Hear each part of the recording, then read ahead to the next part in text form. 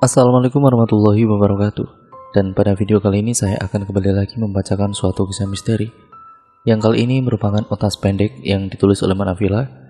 Yang kali ini berjudul tentang kisah bersetubuh dengan gendruwo.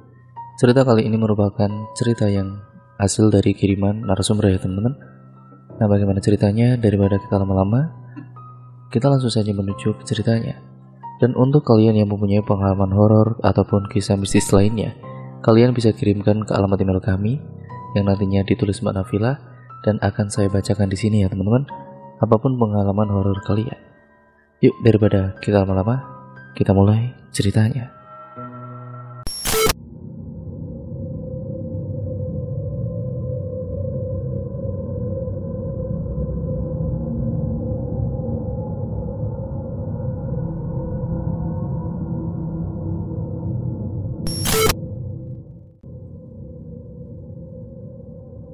Panggil saja aku Riani.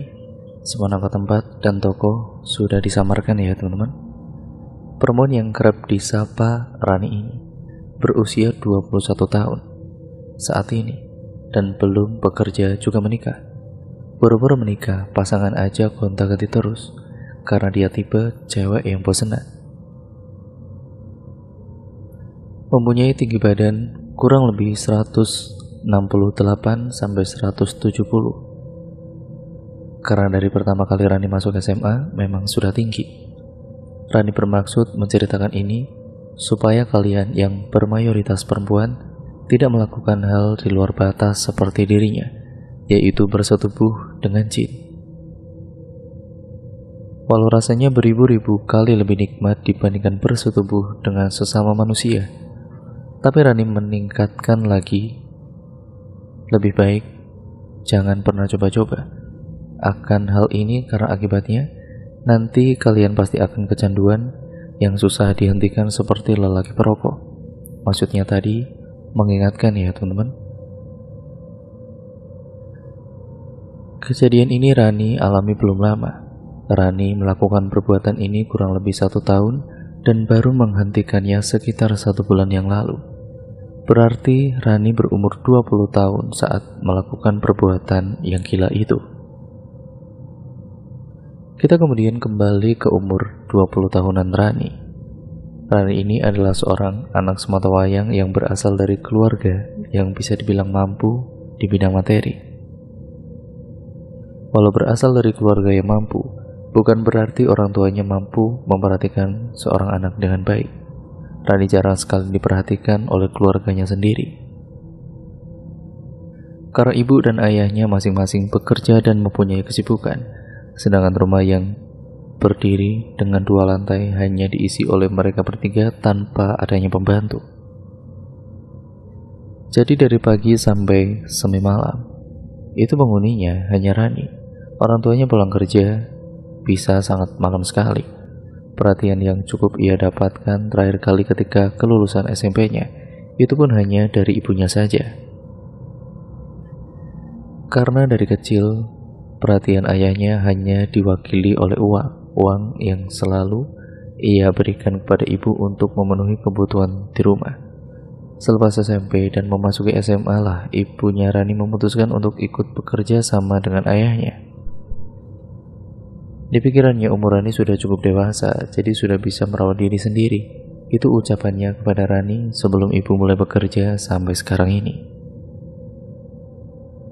Setiap pagi selepas Rani bangun tidur dan turun ke lantai bawah, selalu disiapkan sarapan dan uang yang ditaruh di bawah piring berisi nasi dan lauk pauk untuk satu hari dan orang tuanya sudah pergi berangkat tanpa perpamitan kepada Rani.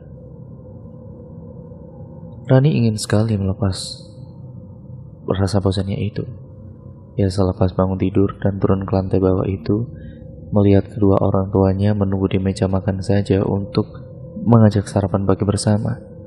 Menunggunya dan juga mencium kedua tangannya, terlebih dahulu baru selepas itu mereka berangkat bekerja, itu sudah sangat cukup.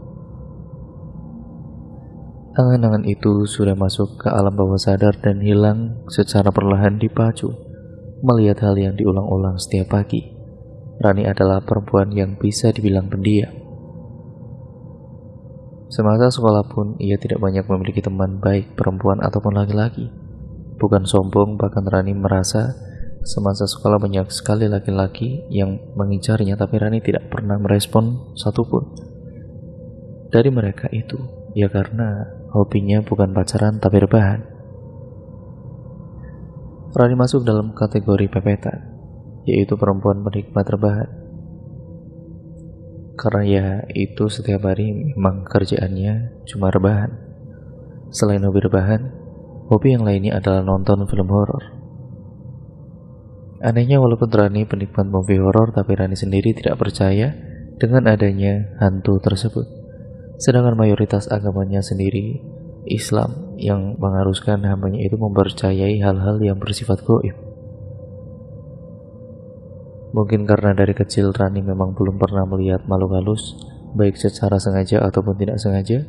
Awal mula dari kisahnya Rani ini berawal dari nonton film horor.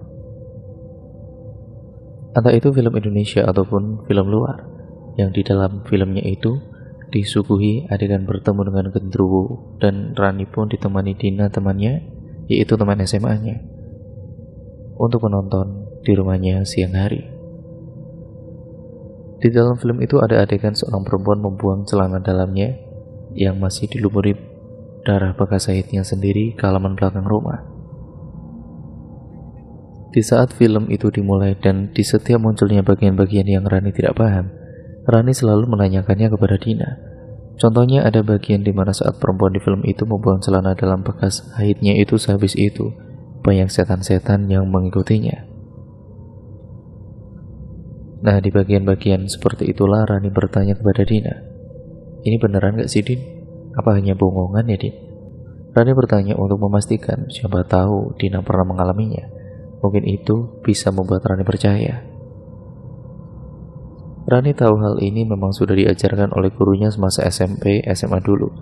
Tapi namanya orang yang belum pernah mengalami hal-hal kemistisan, Rani tidak bisa meyakinkan dirinya sendiri kalau itu semua memang nyata. Sampai ada bagian dari film itu yang adegannya dilucuti oleh sosok tidak terlihat. Dari mulai pakaian, bagian luar sampai dalam, setelah itu tiba-tiba sosok itu bersetubuh dengan seorang perempuan yang membuat celana dalamnya itu ataupun membuang celana dalamnya itu maksudnya. Di adegan itulah Rani berpikir dan ini yang benar aja sih Masa sampai kayak gitu cuma gara-gara buang celana dalam bahasa dari darah haid? Mereka berdua terus menonton film itu sesamanya film selesai. Rani berbincang-bincang dengan Dina di ruang tengah seputar adegan-adegan kemistisan yang berada di film tadi. Dina yang agamanya sama dengannya berkata, kita memang harus mempercayai hal-hal seperti itu, karena memang ajarannya seperti itu. Rani pun kemudian mengiyakan. Walau sadar tidak sadar hatinya belum sepenuhnya yakin terhadap adanya hantu. Mereka berbincang-bincang panjang lebar sesamanya Dina pamit pulang dan meminta diantar sampai ke rumah karena matahari sudah menunjukkan sinar redupnya. Perjalanan menuju rumah Dina, Rina bertanya satu lelucon yang membuat dia sedikit kaget. Din, kalau aku coba kayak di adegan film tadi gimana ya? Sambil tertawa tanda gurau. Gila kali luran. Rani hanya tertawa mendengar jawaban dari Dina karena pertanyaan yang ia lontarkan itu pun tidak serius sebelum semuanya menjadi kenyataan. Kala itu setelah mengantarkan Dina pulang dan Rani kembali ke rumah, tiba-tiba satu ide muncul di pikiran untuk melakukan eksperimen ekstrim. Ya, tepatnya mencoba kebenaran dari adegan film yang Rani tonton tadi siang bersama Dina. Tapi kembali lagi, kalau Rani mencobanya dan itu benar-benar terjadi, apa yang harus ia perbuat selanjutnya? Semua pertanyaan itu muncul di dalam kepalanya. Rani yang kala itu sedang memasuki haid hari pertamanya dan pas sekali darah haidnya masih tertempel di celana dalam membuat ia berpikir untuk mencoba hal yang ada di film tadi. Tidak sempat dicuci karena Rani bocor bersamaan saat di tengah berbincang dengan Dina. Dina juga tahu kalau Rani bocor. Dan sebelum mengantarkan Dina pulang pun Rani disuruhnya mandi, mencuci dan mengganti pakaian luar dan dalam terlebih dahulu. Tapi yang Rani lakukan hanyalah mandi. Pakaian luar ia ganti, sedangkan celana dalam yang dibasahi darah haid itu ia letakkan di atas meja kamarnya.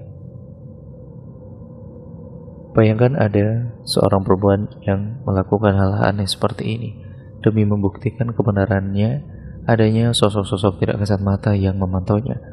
Rani terus memikirkan apa yang harus ia lakukan demi meyakini hal ini. Sampai dia kemudian putuskan Ya sudahlah, coba deh lagian gak ada hantu yang makan manusia kan? Dengan penuh keyakinan dan keberanian, Rani melakukan percobaan nekat itu. Karena rumahnya juga tergolong rumah yang memiliki kelebaran yang sedikit luas dan memiliki halaman belakang, detik itu pun Rani mencobanya. Rani pergi ke kamar mengambil celana dalam yang masih dilumuri darah haid baru dan bergegas pergi ke pintu halaman belakang Berhubung halaman belakang rumahnya banyak sekali pot-pot besar yang dipakai untuk bunga-bungaan hias.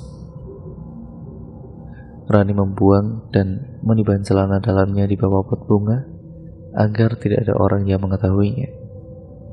Lalu bergegas ia kembali masuk ke kamarnya. Rani kemudian terus mempersiapkan mental dan terus mengatur napas jikalau sampai datang sosok-sosok seperti yang ada di film yang ia tonton tadi. Tapi apa yang terjadi? Tidak ada apa-apa. Dalam kamar pun Rani ngedumel. Apa gue bilang gak ada apa-apa kan? Ya sudah, setelah melihat hasil yang nihil, Rani kemudian melanjutkan aktivitas dengan menonton video-video YouTube pancingan untuk membuatnya mengantuk dan tertidur. Karena kalau mau tidur, pasti selalu mencari video-video yang bisa membuatnya rileks, baru ia tidur. Sekiranya sudah nyaman, ia mematikan HP dan melanjutkan untuk terlelap. Setiap kali Rani bermimpi pasti ia catat entah di HP ataupun di buku. Karena untuk mengingat, oh aku tuh pernah mimpi ini ya. Rani tidak mau ada satupun mimpi yang ia lupakan. Nah, malam itu Rani bermimpi seperti nyata.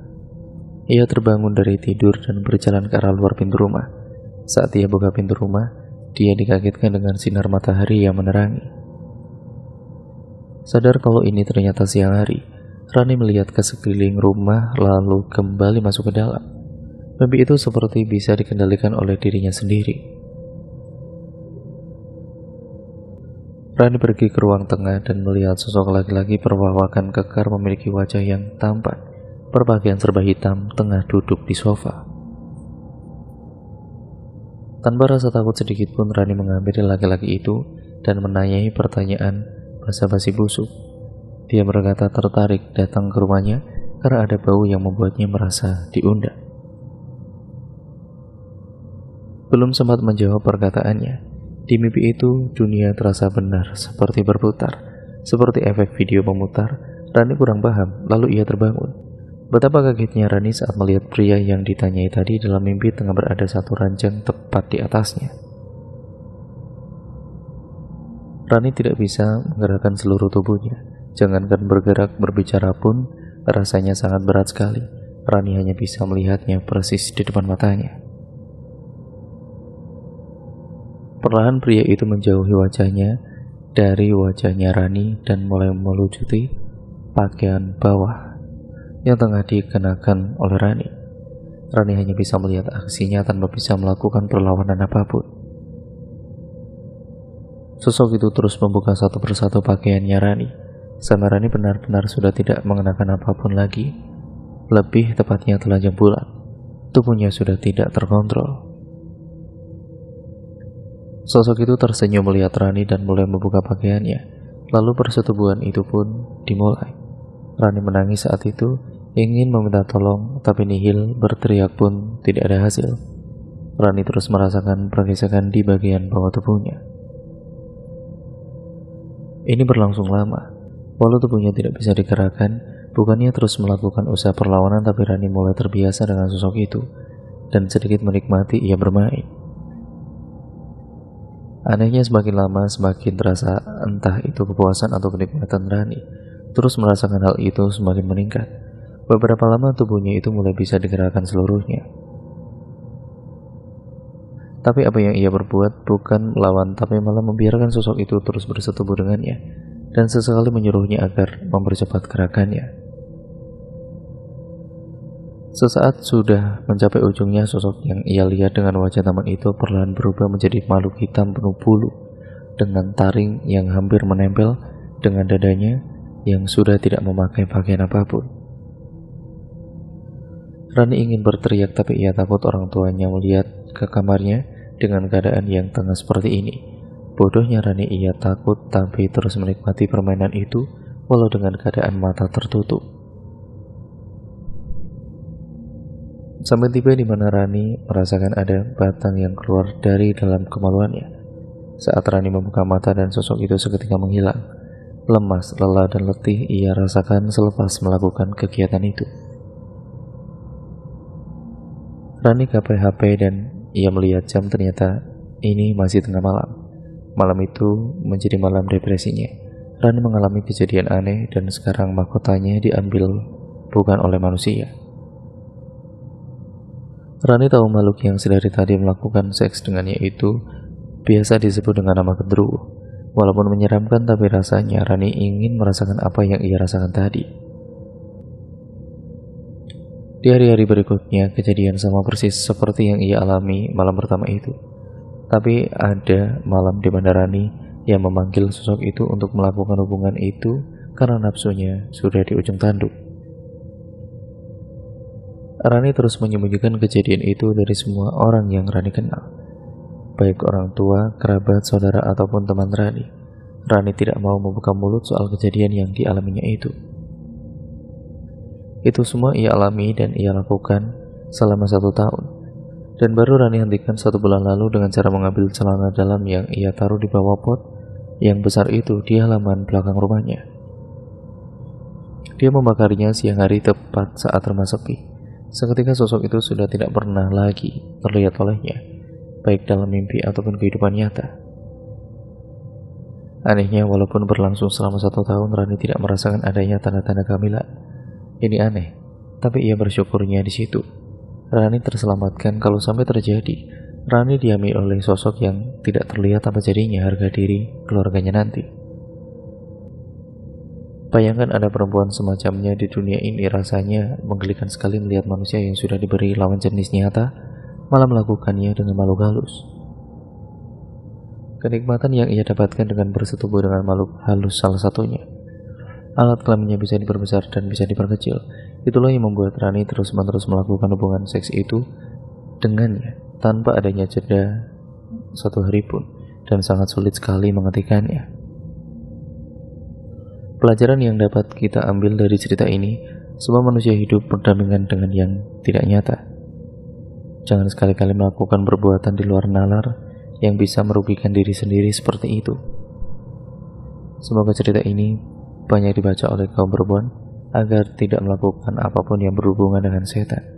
Semoga kalian bisa membaca selalu ditunjukkan jalan yang benar oleh Sang Pencipta dan cerita pun akhirnya selesai sampai di sini ya teman-teman. Intinya kita jangan sampai melakukan hal-hal yang ceroboh ataupun hal bodoh seperti ini yang dilakukan oleh si Rani si narasumber kita ini ya teman-teman. Yang kita sebut saja namanya seperti itu karena namanya sudah disamarkan. Intinya kita hidup berdampingan dengan makhluk tidak kasat mata juga. Jadi alangkah baiknya kita mempercayai akan hal-hal itu dan jangan pernah mencoba hal-hal yang telah dilakukan seperti ini karena akibatnya bisa fatal Contohnya yang dialami oleh si narasumber ini. Terima kasih untuk kalian semua yang sudah menyimak video kali ini dan cerita kali ini. Jangan lupa untuk kalian tetap terus like, komen, dan share video kali ini sebanyak-banyaknya agar channel ini bisa berkembang menjadi channel yang jauh lebih baik lagi ke depannya. Jangan lupa juga untuk kalian subscribe untuk kalian yang belum. Nyalakan tombol lonceng notifikasinya agar kalian tidak ketinggalan video terbaru dari channel ini karena akan terus mendapatkan notifikasi terbaru dari channel ini. Jangan lupa pula untuk kalian yang memiliki pengalaman horor atau pengalaman mistis yang kalian alami sendiri, entah itu saudara kalian juga ataupun teman kalian. Kalian bisa kirimkan cerita kalian ke alamat email kami yang tertera di kolom deskripsi video kali ini. Untuk video kali ini bagaimana kalian komen di bawah ya teman-teman. Dan kekurangannya mohon maaf sebesar-besarnya apabila artikulasi saya kurang jelas, narasi saya kurang jelas ataupun mungkin pembawaan saya terlalu cepat atau terlalu lambat atau bahkan banyak salah-salah kata yang saya ucapkan dalam membacakan narasi video kali ini. Jangan lupa ya teman-teman, sampai berjumpa di video selanjutnya. Video ini saya akhiri. Kurang lebihnya mohon maaf. Wassalamualaikum warahmatullahi wabarakatuh.